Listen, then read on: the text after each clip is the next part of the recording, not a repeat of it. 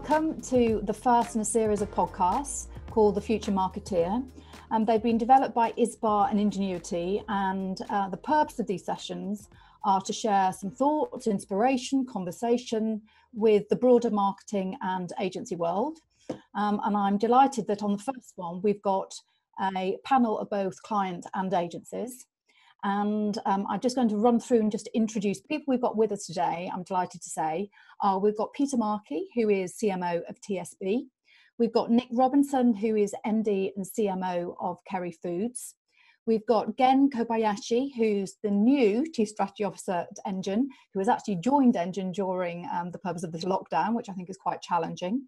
And we've got Heather Blundell, who is the MD and UK Client Counsel for Weber Shandwick. And I'm Tracy Barber, and I'm the Global CMO of Havas Creative Group. So, welcome everybody. Um, good to have everybody here. Now, we've got um, an interesting theme today, which is a title which is In What Ways Are Consumers Taking Back Control? How can marketeers embrace this change? Um, and that's a really interesting concept for me because you know, uh, the whole concept of change we can all talk about till the cows come home.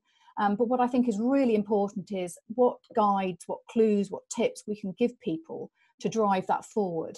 And there was a wonderful quote that I found that I'm going to have to read because I won't be able to remember it by the futurist um, Steve Brown, who said, Stripped of the comfortable illusion of being in control, consumers will move to reassert control over their lives in ways big and small. Um, and I think what's interesting is that whole desire for um, control will drive attitudinal and behavioural change um, across every facet of life, not just around brands and businesses. Um, and at Havas, we've done a study for years. It's a global study and it's called Meaningful Brands. And that assesses the way that um, we can create more meaning for brands and deliver more effective solutions for brands, both in terms of ROI, in terms of um, brand um, building, and in terms of the way we create relationships with customers. And what come out of that study is three key things. One is that you know people look for functional benefits, so they they want to know what a product does for them. They look for personal benefits, which is much more around what you know what is this this product or service doing to make my life easier. Um, but the final element is the collective benefit. And that is the piece that, in a sense, comes back to the control concept that we're talking about today. Collective benefit is much more about the impact of a brand or business on society. And I think really importantly, what we're seeing off the back of that study, and I think we're all seeing across you know, our businesses and within agencies and clients, is that you know people are much more concerned and bothered about what a brand is doing um, from a societal point of view. One of the one of the pieces of really interesting information that's just come out um, is that 77% of people prefer to buy from companies who share their values. And in one of the markets that we've just researched, two thirds of consumers are now saying that they'll abandon brands that act only in self interest. Um, which is actually quite interesting in terms of how that will shift the way we need to respond to um, our customers and how we need to create and change our businesses. So I would like actually just thinking of you know the things that are more prevalent at the moment and how things are changing to come to you, Peter, first, because in the financial service environment, um, what are the sort of things that you're seeing, the significant consumer trends that um, you think will be sustained moving forward? Yeah, no problem. Um, I think there's there's almost quite an obvious one, which is is the move towards digital, and I think we've done all we can during the current crisis to keep as many branches open, so physical presence and telephony. But we are seeing more people move towards digital. Um, now, some of that is, is a natural move, and some of that is a move that we've encouraged. So, in the matter of a, a fortnight, we managed to launch a, a new chat facility called uh, Smart Agent Online, and we've seen a really large uptake of that facility. And so I think once we come through this, I, I envisage that digital adoption will remain particularly high. Now, that being said, I, I, don't think it will remove the need for physical interaction or human interaction. So, interestingly, the thing with the smart agent that we've done online is it's, it's chat with real people. There's a little bit of AI, but it's mainly real people. So what we're seeing is that the need for real human interaction for financial needs is continuing, but it's shifting more into a digital pattern. And I would envisage once we're through this that the um, general uh, acceptance, approval uh, of you know, such facilities will continue, but still require a lot, of, a lot of human touch as well. Okay, thank you. And then, you know, from a from a strategist point of view, um, you know, thinking around that financial services because financial services has been quite unique through this um, process, and as much as you know, it's a must-have, it's been maintained, and very much, you know, we've got to have that connection. What are you seeing in terms of the brands that you're working with that reflects what Peter said? Yeah, I think um, I think that there has been, you know, that, that it feels like there's there's been a bit of a watershed moment. I feel as though, um, you know, for once the hyperbole uh, is is is is probably true um, in the sense that uh, uh, there's been a rapid.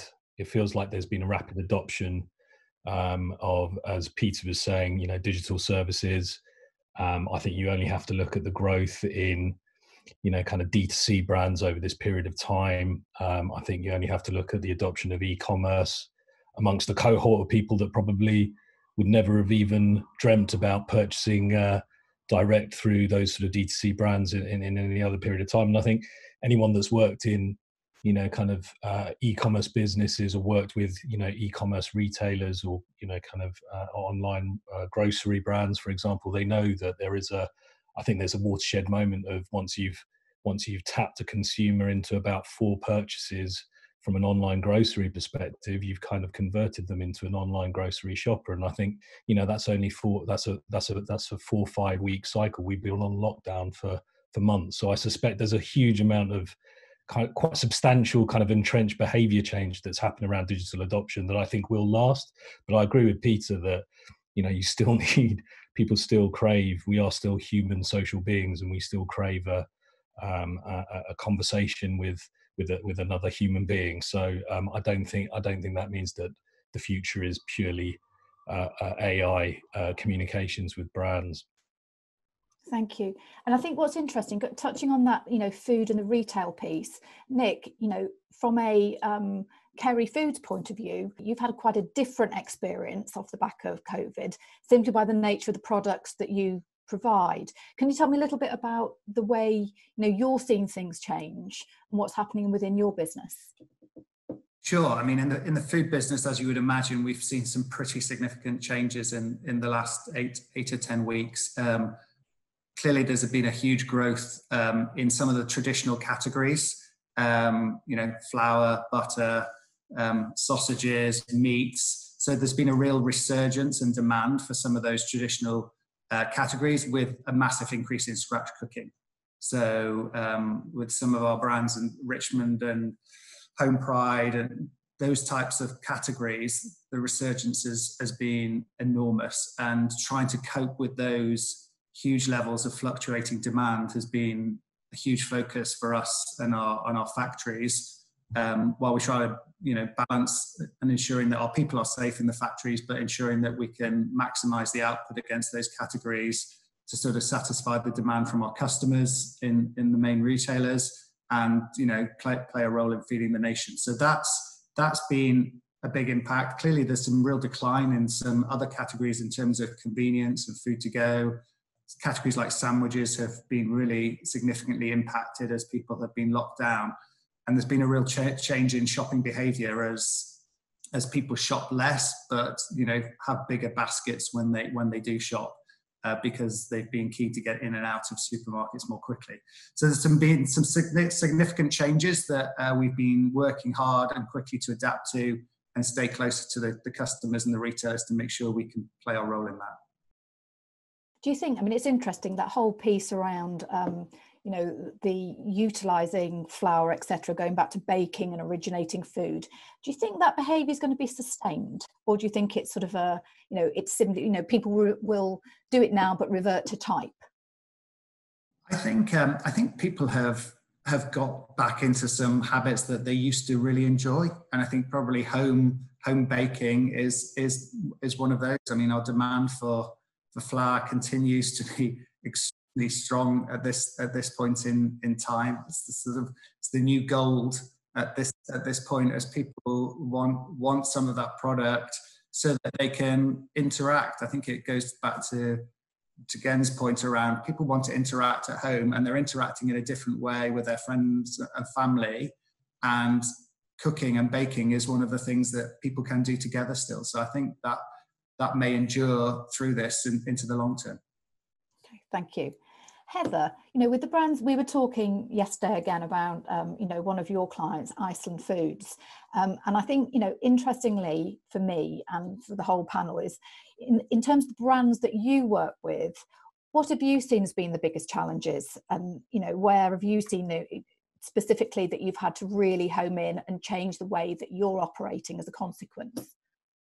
Yeah, um, it's a really interesting question, and it has been and probably the same for you as well tracy just a complete mixed bag in terms of our clients response and um, the different camps that they that they fall into. So um, we've got our client iceland foods who um, you know all of a sudden we are you know stepping back from the normal sort of campaign development and encouraging people to go to you know stores to act- actually unbelievably having to communicate for people to slow down and stop buying food food. I mean, did you think we would ever have to communicate no. that on behalf of one of our clients? I mean, you just couldn't make it up. I'll never forget that first time I queued outside a supermarket for just taking photos. I just couldn't, just couldn't believe it. So, you know, and to, and to have to shift our thinking to operational support for clients like that in terms of feeding the nation. So Iceland Foods were the first supermarket that adopted um, the silver hour, so prioritising that shopping hour for you know vulnerable um, customers and elderly customers, um, and you know and seeing the response of that. I think the the most um, important thing for me in terms of counselling our clients is that our client uh, our consumers will always remember how brands and businesses behaved, and we've you know for the last few years seen a huge rise in in boycotting um, and I think that was been very linked to you know um, how brands treat their employees and their sustainability credentials and I think this will be another one. How did they behave during COVID? How did they support me? How did they support my family so that's that bucket of client and you know how how we can you know best support them to operationalize their business model.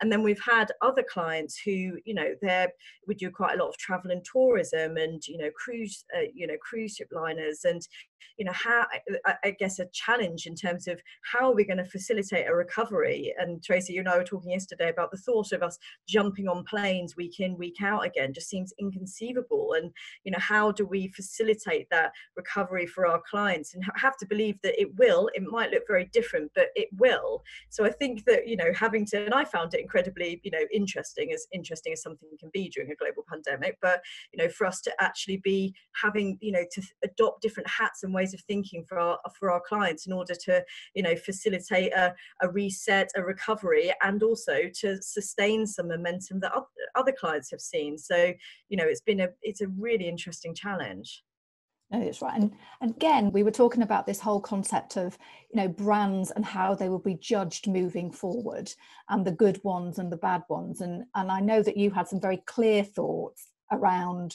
um, the ones that are getting it wrong. Um, I, I, feel as though I, I, I completely agree with um, Heather's Heather's point on um, your point on on I don't I don't believe consumers will uh, uh, will be fast to forget or indeed forget at all. I think this this in many ways COVID has been has represented an opportunity uh, for, for for many brands to show their true colours, and I think.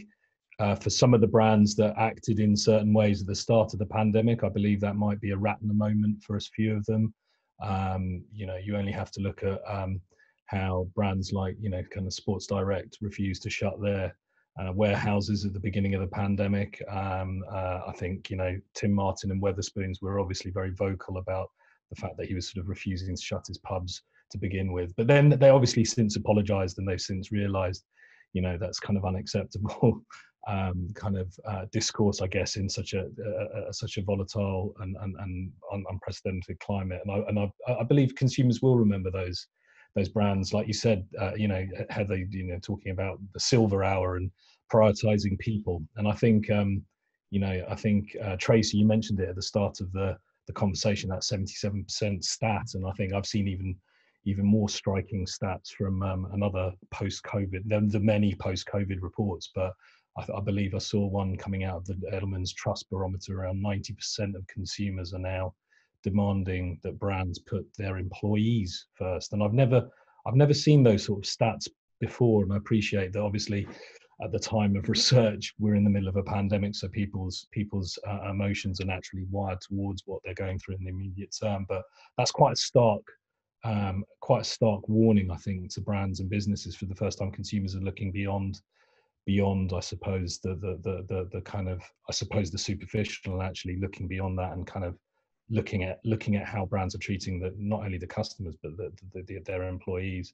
And I think it is those actions that that, that those positive actions that will be remembered. And, uh, and I think Peter, you were talking about your, you know, kind of the priority of making sure that your customers can reach you wherever and whenever possible during this pandemic. And that that isn't advertising. That, that, that that's that's simply positive brand action. And I think those will be that will be remembered. And I think that you know that that, that those those are the those are the actions that, that that I think we should be looking to as benchmarks for for kind of um, brand action going forward.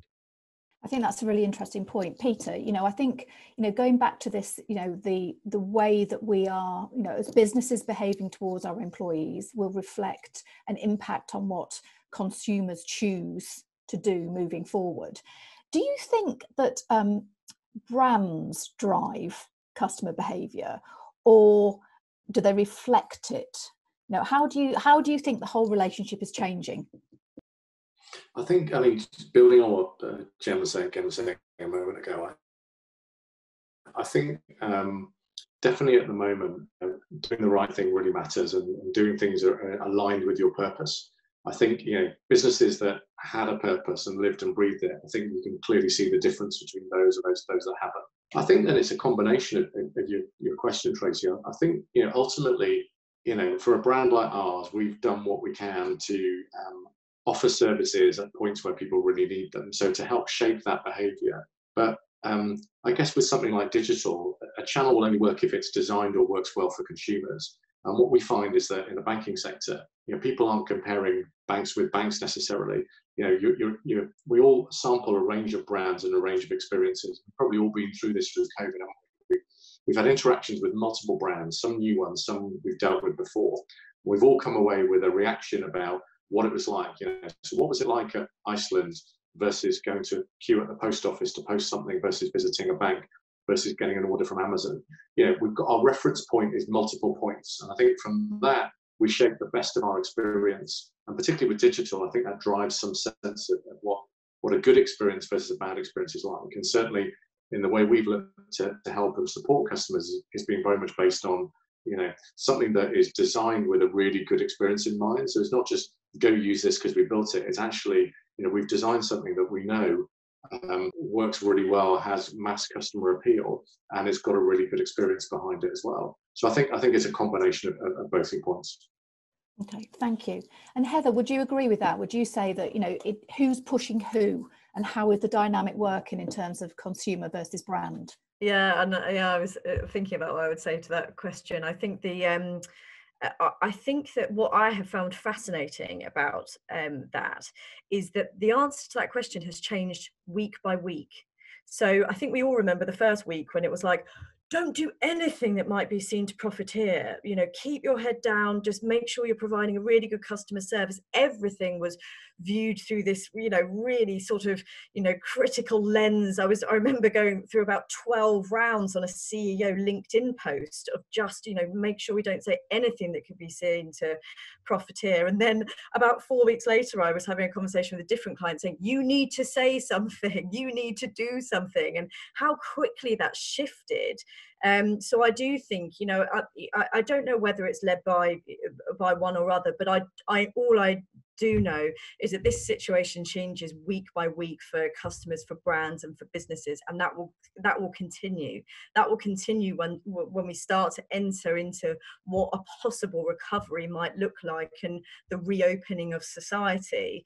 Um, and I and I have found that to be you know so challenging and interesting in terms of there isn't you know we often talk about when we're doing sustainability work or you know when we're developing new campaigns this is what right looks like this is the right thing to do. And that's been a really complicated thing to navigate for you know for for our for our clients um, in order to make sure that we get it right. Yeah. Yeah i think i think just build, building on that i think yeah. um, it depends on what type of business you're in sometimes as well at, at what part of the journey. So for the past eight weeks our primary focus probably as marketers uh, and, and brand owners has been looking after our people because we have about five and a half thousand people of which the majority of vast majority of those work in factories in our 15 factories. So making sure that they're well looked after. We have the right social distancing. We change shift patterns. We close lines to make them safe has been really important has been the primary importance. And then the second focus for us has been um, making sure that we satisfy the changing uh, needs of our customers so the main the main retailers to deliver food to them in the way in which they want it at the pace in which they, they want it. And actually those have been the primary focus for us in the in the first phase rather than any brand communication because those have been the two most important tasks. And actually our marketers have had to move to more operational focus and customer retailer focus in their efforts um, as they simplify ranges and SKUs and work out how to get turn SKUs on and off, as opposed to branded campaigns, because that has been the big priority in, in the last eight weeks for, for our business and for our customers. And staying close to those customers has really borne fruit over that period. That's really interesting. And would you say, so again, from your point of view, from I, I, know you haven't actually been there very long, so in terms of access to client, this could be quite a challenging question. But have you seen a different dynamic um, across the different clients that you work on in terms of where the focus has been?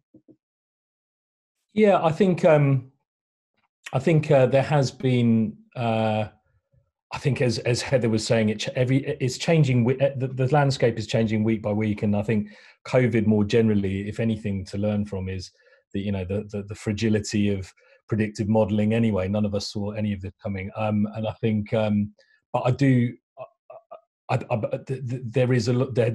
You, could, I think, I suppose you've been many clients that I have been working on, whether it's my in my previous job or, or the current job, is it started off with a lot of soul searching and then into intensive kind of um, scenario planning, really, in terms of, um, I suppose, uh, giving giving our clients, you know, the at least some kind of clarity of vision and some kind of way forward but i think that the new normal currently is how to how to be as adaptive uh, how to be as adaptive and as, as fleet of foot as possible.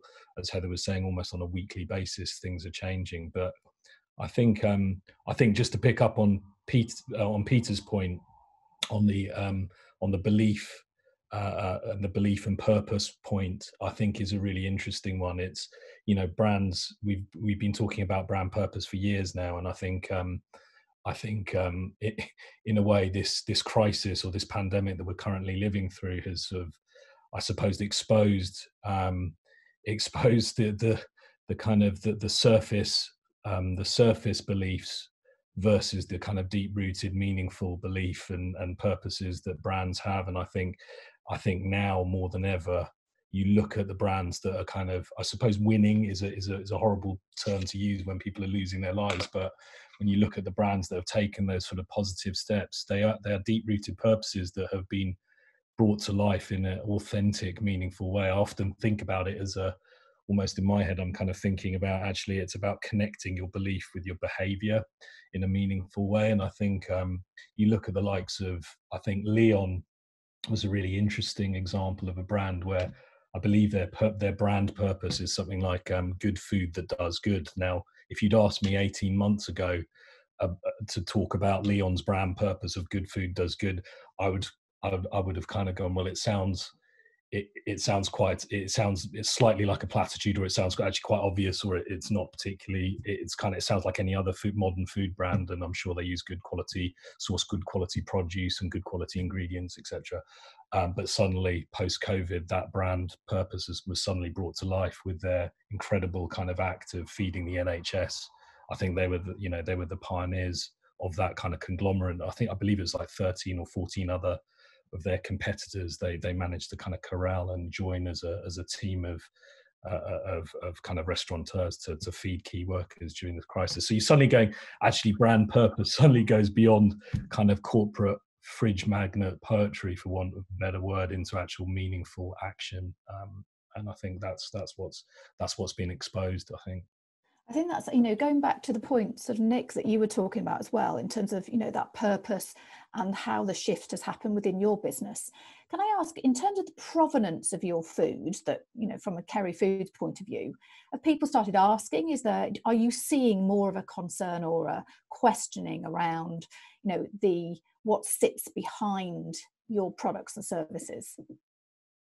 I, I think um, with most brands, people have a sort of working assumption of some level of provenance and some level of ingredients, even if it may not be extremely extremely detailed. I think in the in the last eight weeks, I think um, we've seen two things. One, clearly, people have been wanting to get in and out of supermarkets quickly. Yes, and they have tended in that period to go to trust known trusted brands at scale that they recognize and will feel comfortable with. So I think undoubtedly some of the traditional trusted brands have benefited from that period.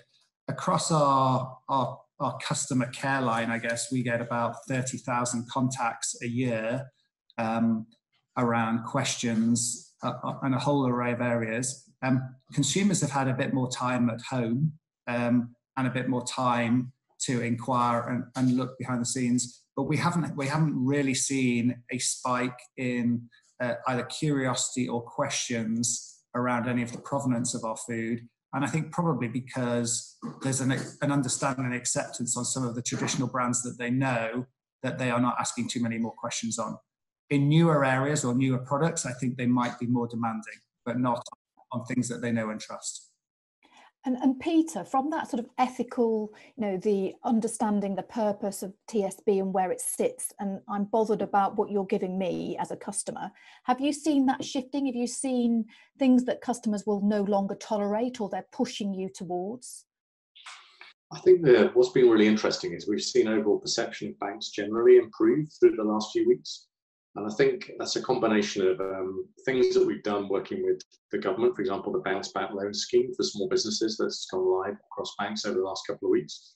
There's also sustained activity from most banks to reach out to, to help customers at point of need. So I think there's a, for the research we do, there's a broad understanding that banks are doing everything they can to really help people at the point they need them the most.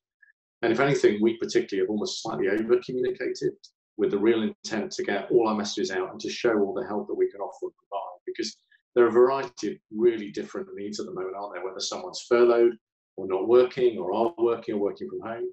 And the, the big thing is about money and money worries and money confidence. And our purpose is about giving people money confidence or confidence with money. So actually right now more than ever, people need to feel confident with what their financial position will look like moving forward. So offering payment holidays, uh, you know, a, a view on uh, payment rates on overdraft and just you know, being very upfront and sorting those things very quickly has been really, really important for us.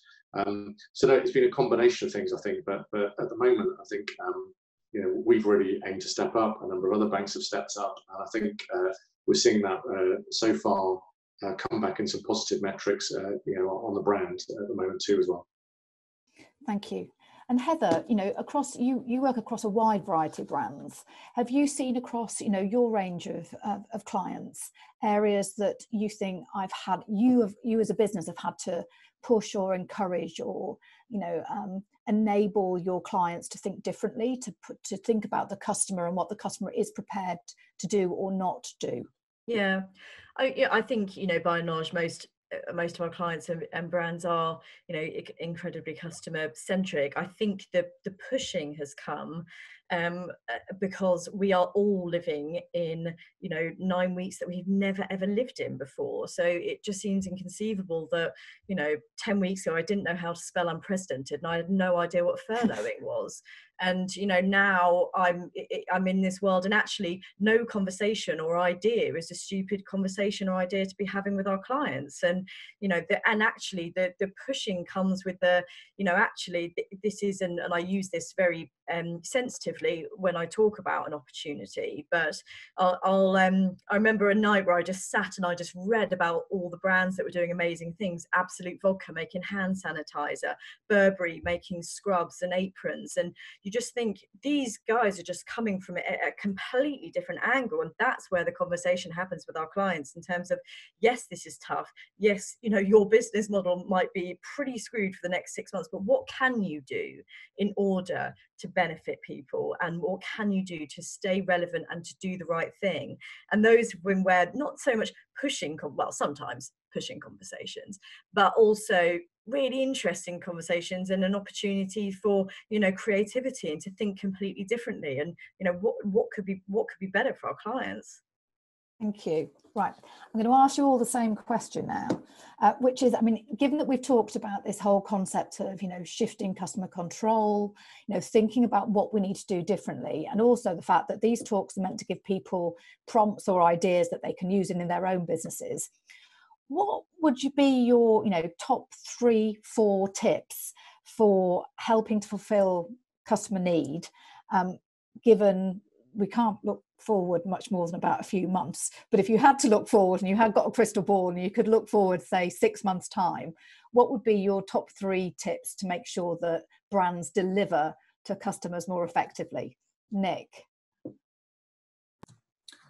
Sure. I guess my the way the way I've and we've tried to think about it in our business is probably threefold, which is um, simplicity, agility, and then looking out for each other.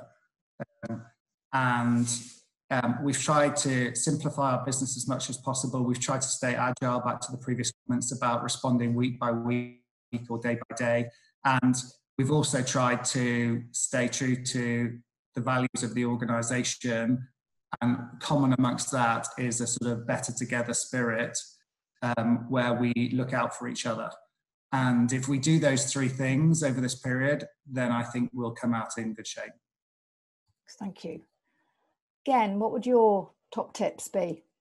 Um, I think um, I think the first it's I think the first would probably be um, let's let's return to um, I suppose a let's re- let's re- let's return to a principle that the the the brands brands are here to help people whether to help people to decide on what to buy or actually provide some kind of useful um, useful service to brands. So i'd almost i'd almost urge a, a slight rethink and not i hope it doesn't sound too fundamental but a slight rethink around uh, shifting, uh, pivoting, pivoting away from the notion that brands are simply passive private enterprises um, into the notion that brands can be more public, active, public service. I think that is a, that is a big shift, and we've talked a big game, as we all know, for many years. Um, you know, from Simon Sinek um, through to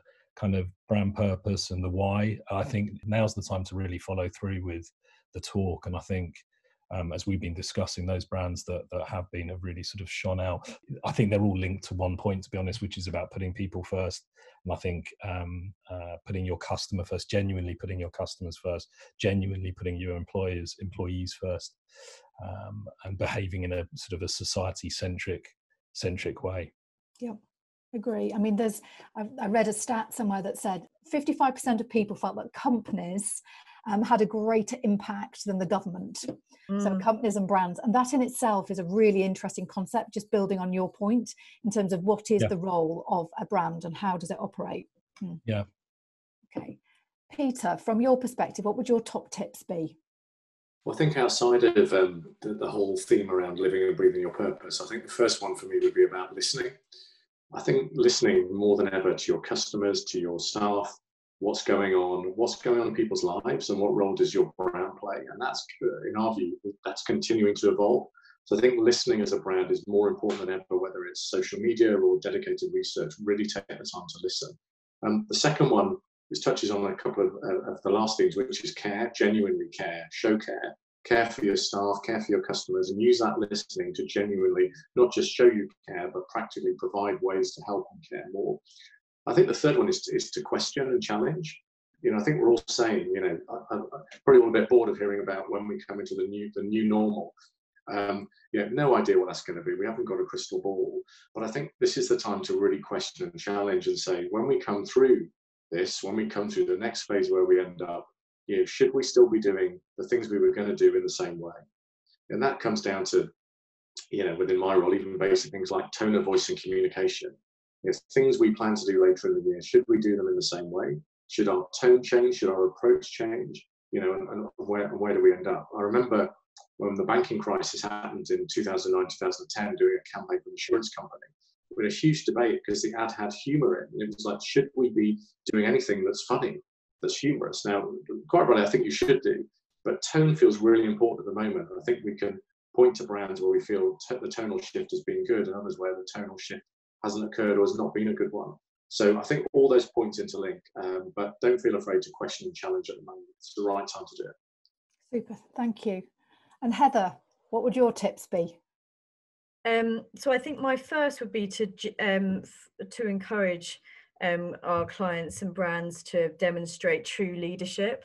Um, and I think that's internal and external. Um, you know, making sure your house is in order um, and prioritizing that before you communicate externally, and to not hide behind. You know, I think uh, what I've you know enjoyed so much in terms of uh, external communications you know during this time is that you know more leaders have stepped out than ever before. And you know we've seen some crazy stats around you know linkedin and you know how leadership uh, communications how well leadership communications have been received there. But you know i'd love to see the end of hiding behind a spokesperson said and you know actually standing there as um as a as a leader and communicating um, my second, I think, and this is the kind of struggle I've had with some clients is, you know, acknowledging the challenges but not being frightened of them. If there's always going to be one thing that's going to hold you back, and what if we get asked about this? Should we still do this? And there is no perfect solution. So acknowledging, like,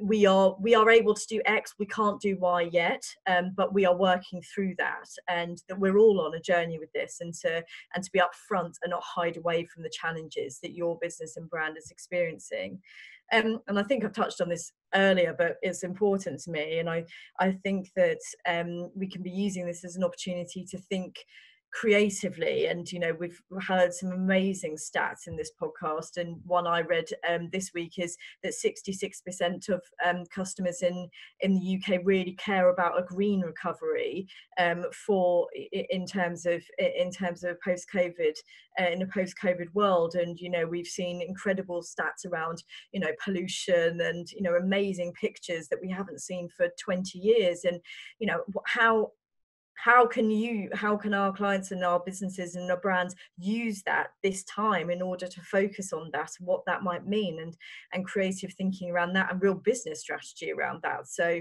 you know whilst this is a very busy time for some well it's a pretty busy time for for, for most businesses and brands but i do believe that there is an opportunity to think differently think creatively and to not be you know afraid of those challenges Thank you. No, I think do you know what's interesting is that there is a, there's very much a theme coming through here, isn't there? That you know what I think what we're seeing is you know consumers are demanding more, but actually you know that concept of transparency, whether it be over supply chain or chains or honesty, you know, having strong CSR policies, but living it, not just talking it, you know, and how brands treat their employees is becoming more and more important. Um, and I do think actually, and I think you know we'd all agree, and certainly from Havas's point of view, we are seeing a more discerning customer. So I mm. think you know what is going to be so important is that the ones that will will will will win um, are the ones that actually do deliver against that that sense of what a true purpose is or deliver meaning. So it'd be interesting to see what goes on moving forward. I think they're more uh, to build on your point, Tracy. I think they're discerning, but I'd I'd actually sort of combine that with Peter's point on questioning. They are questioning Yes. themselves, and I think Peter's right. I think now more than ever, you go.